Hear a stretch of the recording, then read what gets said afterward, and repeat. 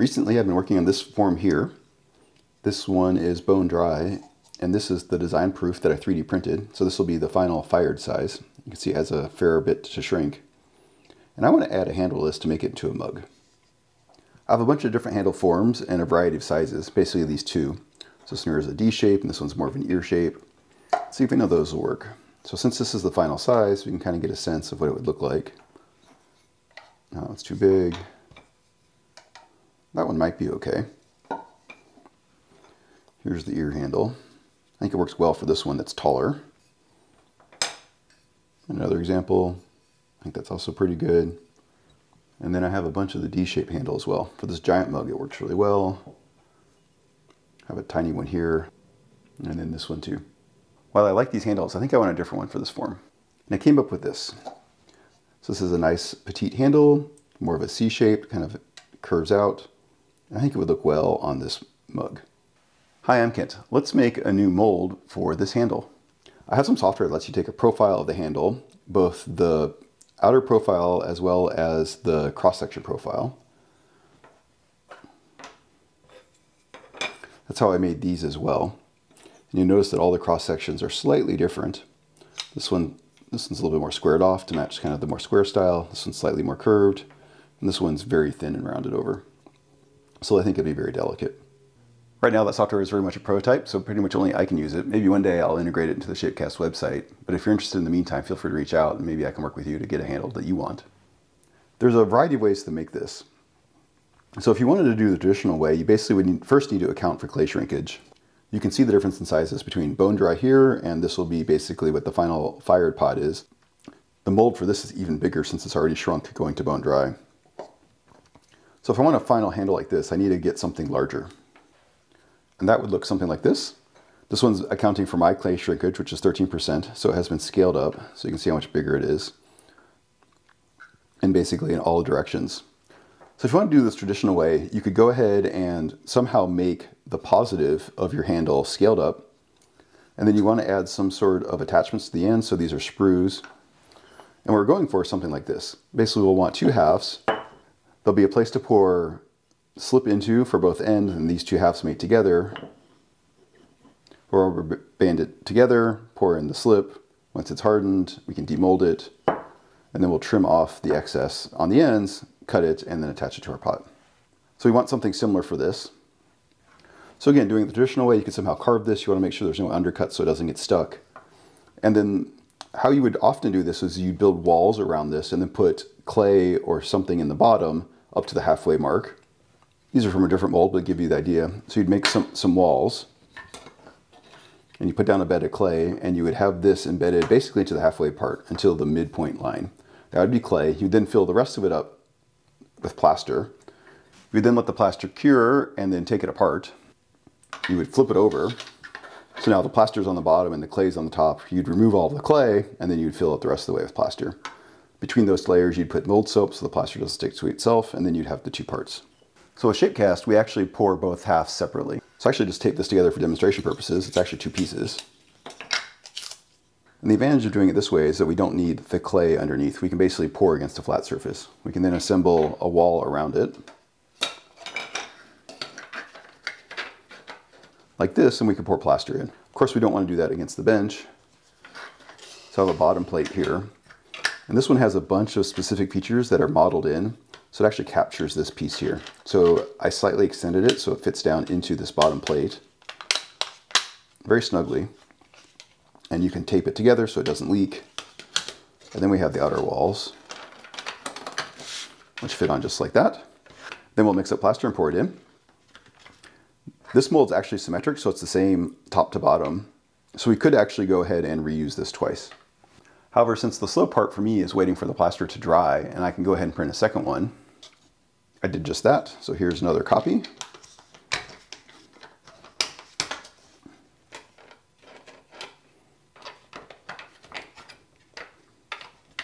Just like that. So now I can mix up one batch of plaster, pour both of these at the same time.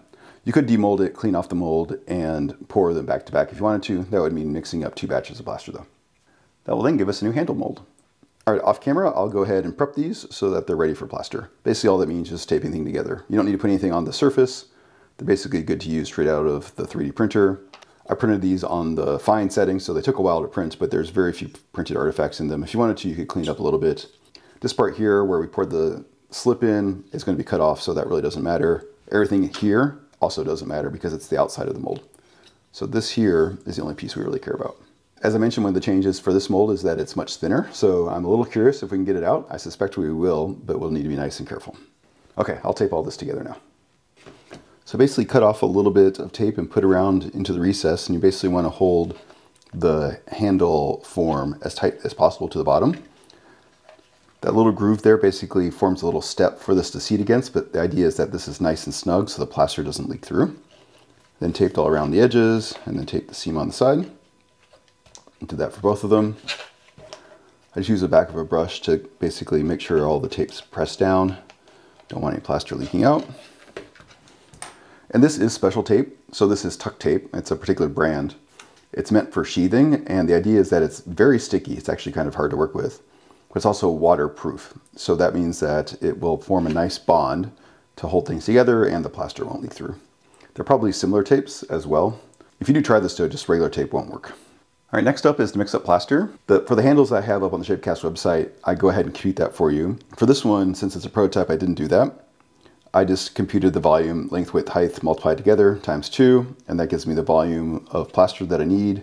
I'm gonna go ahead and mix up some plaster. I'm actually gonna do a couple pours at once, so this one and for another mold that I'm doing. So I'm gonna mix up way more plaster than I need. That'll actually make it easier. It's hard to mix small amounts of plaster without introducing bubbles. Kind of counterintuitively, the larger the volume you have, the easier it is. And that's so you don't suck down air into the plaster as you're mixing it. So we go ahead and mix up the plaster and then we'll pour these molds.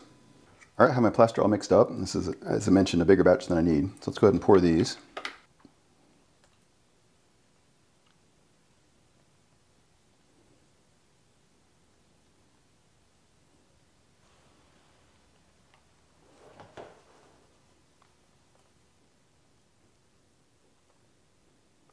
There we go.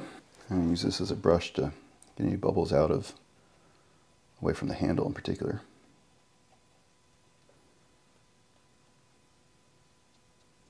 All right, go ahead and let these cure. It's been about an hour, so the plaster is cured. I like to demold these in two parts. Basically, the plaster gets stronger as it dries, and so we want to make sure it gets as dry as possible before we demold the handle part, which is the most fragile part. So we can just pull the tape off.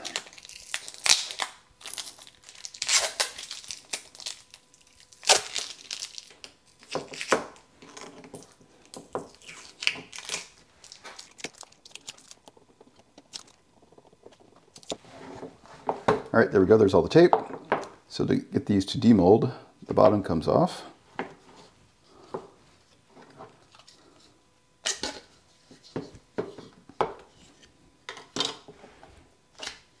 Just like that. nice flat faces. And then these slide outwards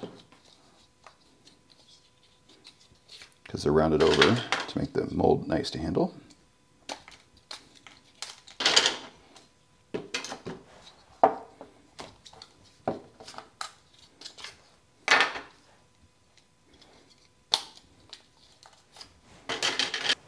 Clean up the mold a little bit while it's still pretty soft. This part spilled a little bit.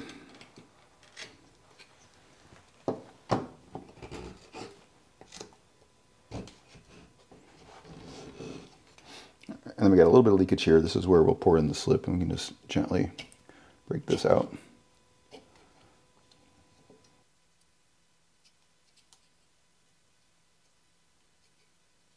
All right, I'm gonna let these set up for just a little bit longer, let the plaster get a little bit harder, and then we will demold the inner handle piece. Okay, it's been maybe another half an hour. Let's go ahead and see if we can pull out the 3D prints. The real open question here is basically this narrower profile and how hard or easy that is.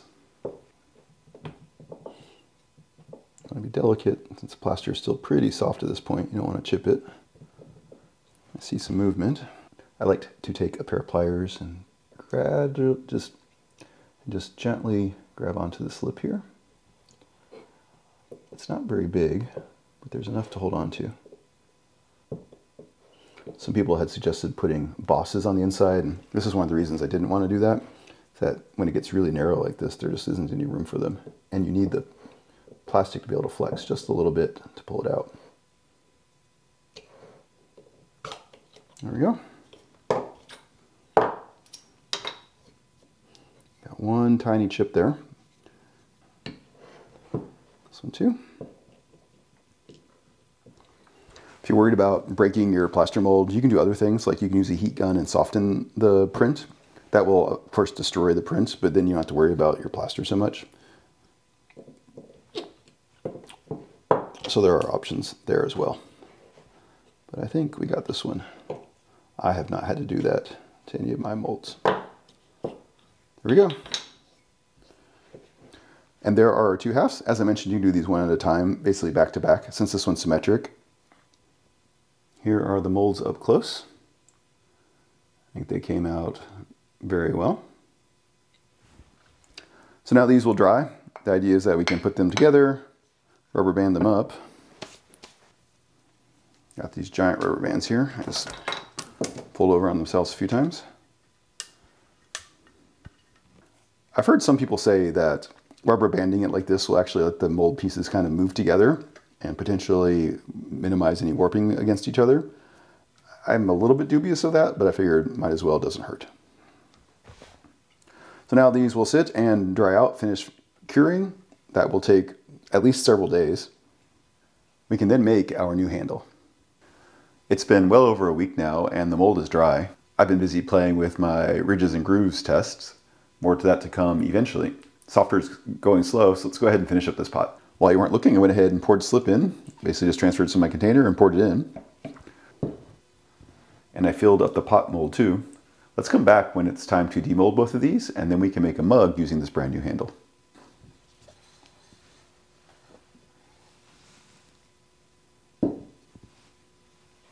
There's a pot and the handle.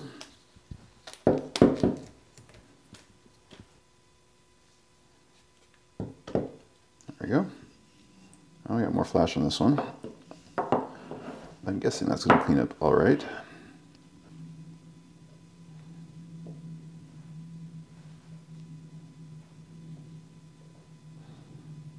There we go, there's the handle. Sit down right there. There could be a few things causing the flash. One is that maybe I didn't get the parts exactly aligned together. That's one thing you want to double check.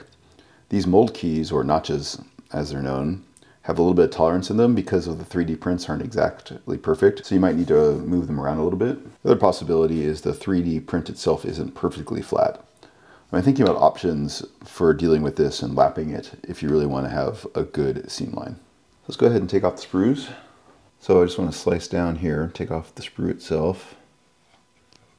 This one's a little front heavy because the handle's so delicate. These will go on the reclaim. Touch this up just a bit while it's easy to get to. Still super soft, so be careful not to damage the handle itself. The outside see if we can get to once it's on. So we're going to want to attach it something like that. However, to do so, we need to cut a curve into the handle so it matches the curve of the pot. But right here, you want to cut a little bit of a curve, a little bit of a radius. Doesn't look like we're going to need much.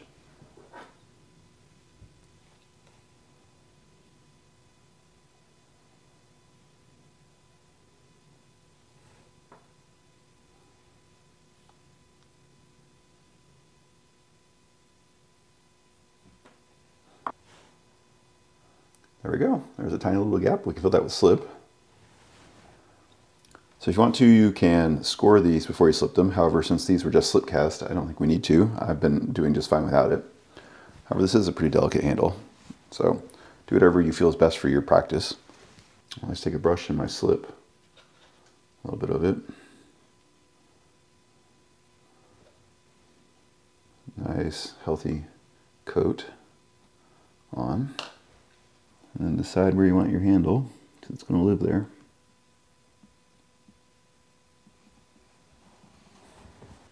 Think like that. Gently push it down. You don't want to deform the pot. It's still super soft. You could wait a little bit longer till things are closer to leather hard and then you definitely would want to score.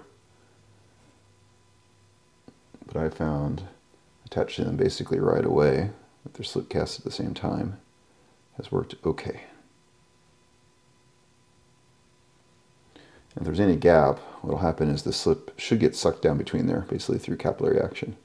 That's one of the things that's happening with the plaster as well. The plaster sucks the water out because it's got tiny little gaps inside of it. There we go. One attached handle. All right, I'm going to let this firm up a little bit more. I think I'll probably cover it overnight.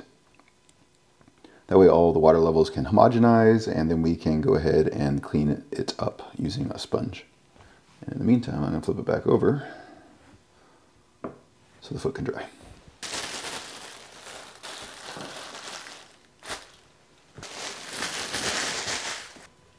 All right, this is sat overnight and it has firmed up quite a bit. Let's go ahead and clean it up. Let's start with a damp sponge.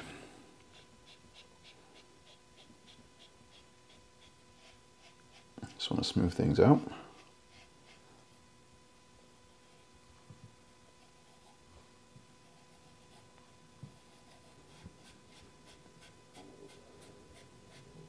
And have a smaller bit of sponge that is good for these connections here.